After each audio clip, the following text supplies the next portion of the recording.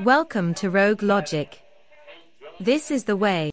Good afternoon, everyone. I uh, hope that everyone is having a great day here. Uh, as you can see, Basil is assisting me today. And, um, okay, I'm going to get right to what uh, the matter at hand is right after I do say, if you could, please like and subscribe and hit notifications so you know when I have new content. It would really help a lot, and I would really appreciate it. So, for today, uh, the discussion is a couple days behind for me. I unfortunately had food poisoning, and uh, that was unpleasant. So, uh, Marjorie Taylor Greene. Yeah, I really wish I were talking about something else, but I can't, I just can't let this whole thing go by. So, of course, what I'm going to start with is this tweet right here, which I will leave up for the remainder of the video. And um, her national divorce idea. She's bloody crazy. Yes, I agree. It's uh, it's her trying to not get into trouble. Uh, but so far, I've seen that although she has done that, um, and I think she's getting a little bit of advisement to do that. I, I think she's straying right off into her normal territory again anyway. But anyway, so her first tweet that dealt with this, and uh, I'd like to I'd like to read this through, and uh, and and really. All right, so here here we have it. We need a national divorce. So, in other words, this is her code word for she wants the United States of America to no longer be the United States of America, whether it be through legislation or, uh, although she claims not, civil war. So uh, she goes on to say we need to separate by red states and blue states. Completely not something that number one, logistically not going to work. Number two, the time it would take. Uh, this this this will play into a, my point later about her inability to understand um, basically the way the government works, and then of course, and shrink the federal government. Now, everyone has a different viewpoint on that. That's fine. Whether you think there should be more centralized government or less, still doesn't call for sedition, doesn't call for civil war, doesn't call for disbanding the United States of America. Here's my favorite part. Everyone I talk to says this. Well, Marge, I don't know who you're talking to. Uh, maybe yourself, maybe some of the other right wing lunatics that are Christian nationalists who have decided that they speak for everyone. Um, but no, everyone does not say this. Okay, so I don't know who you're speaking for, but it isn't everyone. And then, of course, to lay into someone because this is this is what the issue is. From the sick and disgusting woke culture issues shoved down our throats to the Democrats' traitorous America last policies, we are done. My first question is who is we? All right. Now, you have to take into account that who Marjorie Taylor Greene is speaking for basically is Christian nationalist, white wing, theocratic lunatics and Nazis. That's that's who she actually is speaking for. This is what this woman believes. But she's decided that she's speaking for 70 plus percent of America, and I'll tell you why because she's talking about Christians. All right. Now, uh, I'm going to put this in the description below. This is a religious landscape study. So it's basically just breaking down the um, religion and lack thereof or types of religion in the United States. So Christians in general in the United States make up 70.6% of the country. So yes, the majority is Christian. Now, that is a very loose term. That means very devout Christians, people who just identify as Christian, and everything in between, all the different denominations, everything. So Marjorie Taylor Greene has decided that she speaks for all of you. Okay, so now that that gets broken down. Evangelical Protestants make up 25.4%. Uh, mainline Protestant make up 14.7. Um, historically black Protestant make up 6.5. Catholic 20.8.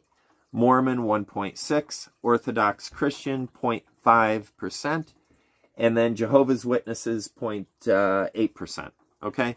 So then you have other denominations of Christians. And um, in our country, that's at least 200 other uh, denominations. So she's decided she speaks for all of you. So I hope that you're comfortable with that. Okay, then we move on to non Christian faiths. Uh, Jewish 1.9%, Muslim 0.9%, Buddhist 0.7%, Hindu 0.7%, and other world religions 0.3. And then let's not forget unaffiliated and atheist, agnostic, nothing in particular. That's 22.8%. So we're talking about close to 25% of the country either doesn't identify with any religion, doesn't believe in religion, or is an atheist. So, okay, now I'm going to try to skip over the logistic parts of why her idea is complete nonsense because this has been dealt with very well by people who've discussed this over the last few days. Like, I'm sure you've heard about it. So, number one, um, how would it do, be done? We, we aren't fighting a civil war like in the 1860s. There isn't a North and a South. So, you know, you're going to have states that are half and half. You're going to have states that um, the legislature is Republican, but the majority of the people are Democrats. Maybe a governor is Republican, but the, the other representatives are Democrats. So it really wouldn't work. Um, so again, I'm not going to go into that. Um, mass movements, how would that work? It would take time. Some people can't afford to move. Some people don't want to move. Their families there. So it, it's just, this doesn't make sense. But it's been covered very well and very fully. So what I will do is put down in the description below a couple of the independent news sources that I go to. And I'll tell you why. Because not only Fox and Newsmax, who are represented by the far right and the uh, huge conglomerate uh, companies and uh, the same thing goes for established Democrats, like on CNN. It's, this is all beholding to shareholders and to big money. So this is all slanted. I will look at the clips from there and I will break them down and decide what my views are on it.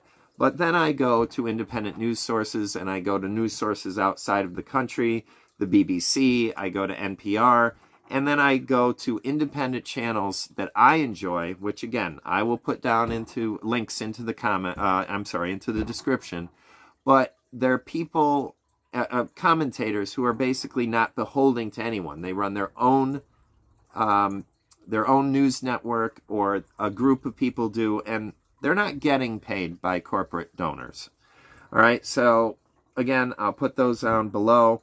And what we have here obviously a failure to communicate, but um, is the Dunning-Kruger effect, Dunning-Kruger effect at its worst. All right, now, if you're not familiar with it, this is when, to in simple terms, when people who are not as intelligent as they believe themselves to be actually believe the opposite and they just completely cannot understand that there are other points of view and that their view may be skewed or incorrect and they just don't want to believe it. I unfortunately know many people like this and this is Marjorie Taylor Greene. Now the difference is with her, she is an elected official and she is talking about sedition. She's talking about civil war. She is talking about being a traitor. That's why before I found it funny that I'm not a Democrat or a Republican, but yes, I, I my progressive values do go towards that direction more. And she has the gall to call the Democrats They may be a lot of things, but I don't see them as traitorous. I, I don't see them trying to overthrow the government. So just her past behavior, it's ridiculous. But my point here about the Dunning Kruger effect and her stupidity is that I've gone back and forth with her over a great deal of time now. And at first I thought, wow, what an idiot. I still think she's an idiot, by the way. Of course she is. yeah, I know you do too. At any point, uh, at any rate, I do, but I also think that she does suffer from this effect, and I think she does believe the things that she says. I at one time I wasn't quite sure, but I don't think she has the ability the ability to have critical thinking skills or to be able to say, oh, okay, wait, what about other people's points of view? Now, I know that she and the people who identify with her don't care. They just, this is our way, and you need to be doing it our way or else. But this does not allow her to think of what it is like for, say, a Buddhist. And I'm going to, there's a reason I'm bringing up Buddhism. Um, what what would they feel like if they were living in a country where your your rights are in the Constitution? Your rights are protected. You can be a Buddhist. You could be a Christian. It doesn't matter that Christians are in the minor, uh, majority, and you can do you can practice your religion how and when you want to, or no religion whatsoever. So, uh, let me pause right there all right, so back to the topic. Um, the reason I wanted to talk specifically about Buddhism uh, in in in relation to what is going on here is that I had a personal experience of someone who definitely suffers suffered from the Dunning-Kruger effect. So I'm going to try to make this a quick aside. So I live in rural Connecticut. Now, the usual response from people initially, when they're not from Connecticut or anywhere near here, they hear Connecticut and they think, oh, you must have money. That is definitely not the case. Um, Connecticut, for its small size, is very diverse as far as financially. There are areas that are extremely wealthy, and there are areas that are extremely poor. And um, that's there's a huge range, and then rural and urban is very very different too. So, uh, to get where I'm going with this, I uh, was working in a retail establishment in a very small town, rather conservative small town.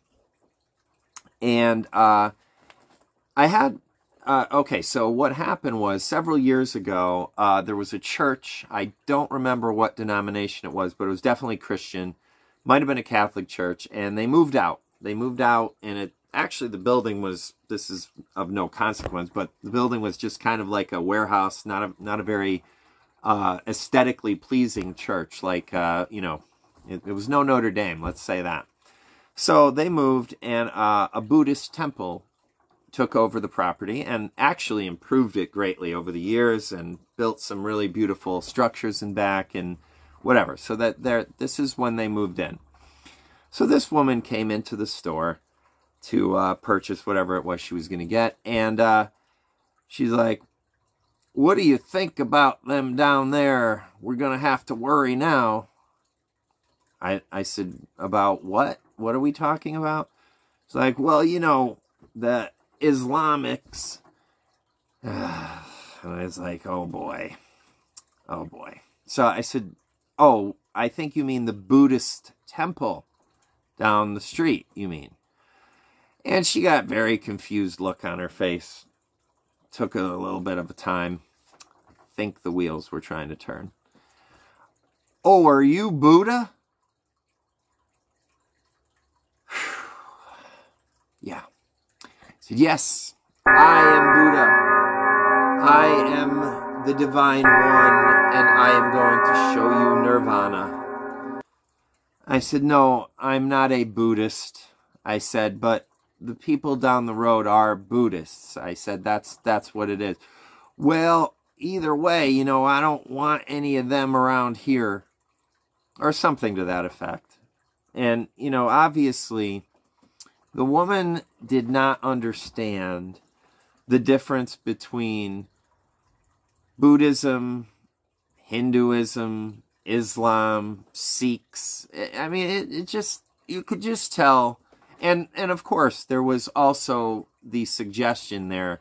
What she did mean is that it was a Muslim group of people and, and moved in there to, to uh, you know, worship. So that's what she was afraid of. Now, I, I think I tried to say something more about, you know, Buddhists are probably the last people that you really need to worry about. If, if now, I mean that from the religious sense. Uh, you know, Buddhists like anyone else, they're good and bad. I just, I hope everybody gets that. But it, it just, this is what I mean. I mean, when you are wantonly ignorant and you don't have any desire to change that at all, it's really bad. I mean, that, that was really sad for the Buddhist moving in there and for that woman because she just doesn't understand anything about it and, and goes into it with fear and hatred.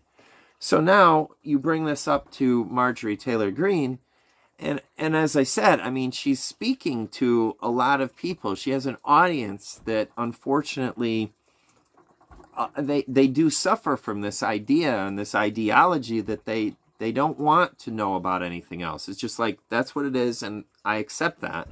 Well, you know, you you do there there there doesn't seem to be any consequences these days for the actions of people in political parties who do really horrendous things and incite people to violence, get people killed, uh, you know, basically put out all kinds of false rhetoric about um, you know, the pandemic and, and many things. You, you get where I'm going with this. I mean, there, there needs to be some consequences for this. And what I hope people understand is that this is not someone fighting for freedom.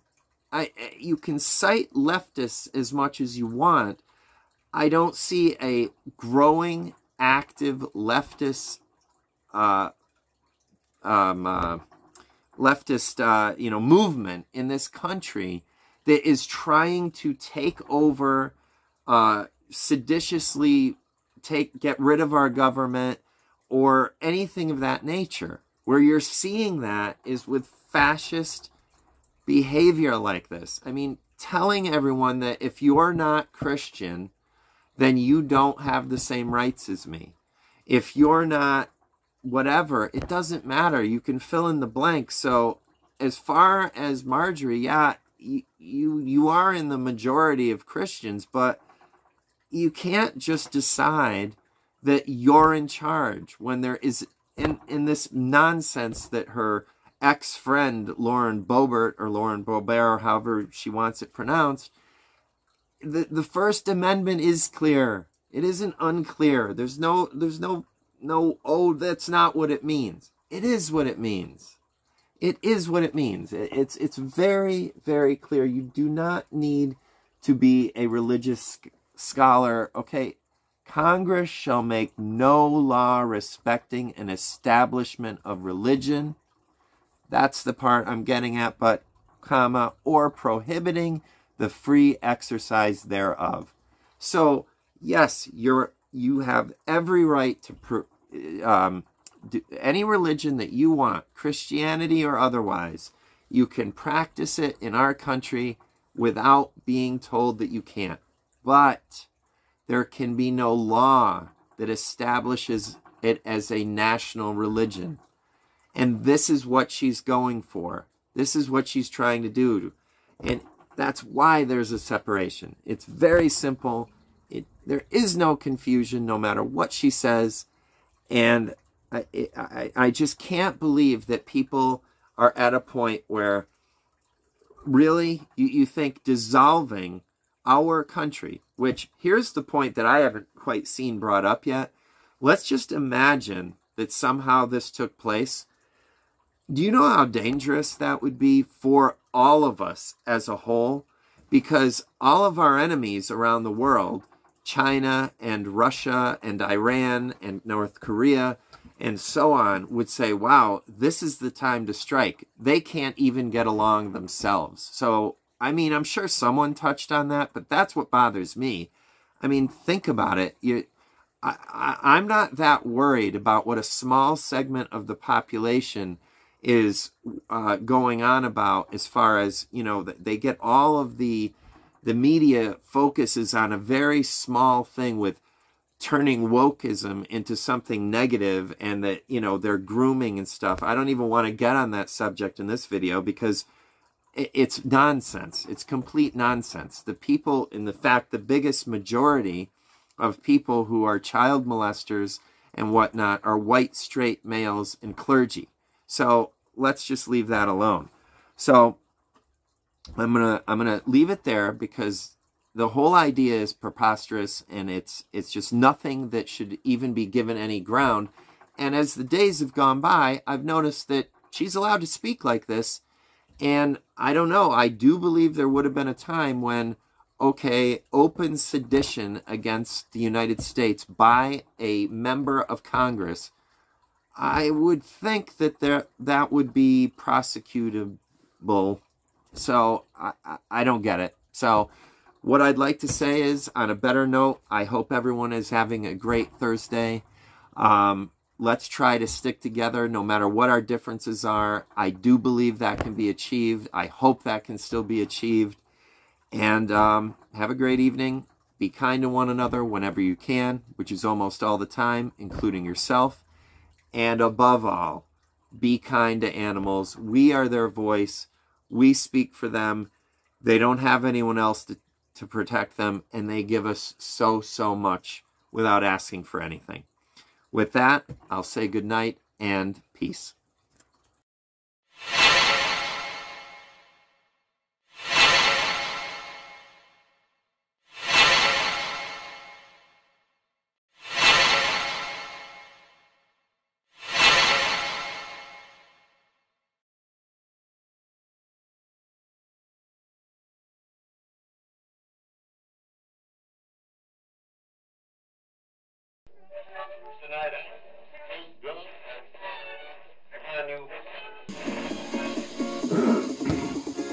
Okay.